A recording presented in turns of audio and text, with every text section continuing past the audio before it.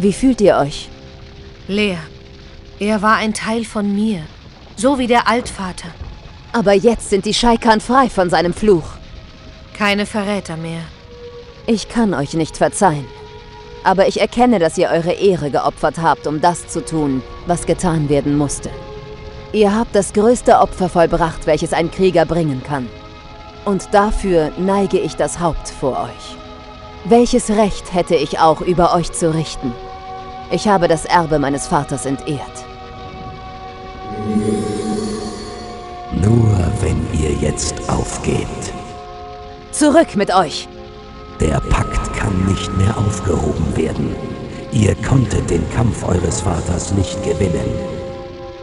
Aber ihr tragt das Siegel und damit sein Erbe der Herrschaft. Gebt den Norcane wieder Einigkeit. Die Schatten werden euch unterstützen. Ich werde euch unterstützen. Werdet ihr mich begleiten, Shaikan? Nein. Ich muss einen Drachen finden, auch wenn es mich bis ans Ende der Welt trägt. Dann möge Nors Licht unser beider Wege bescheinen. Blut meines Blutes.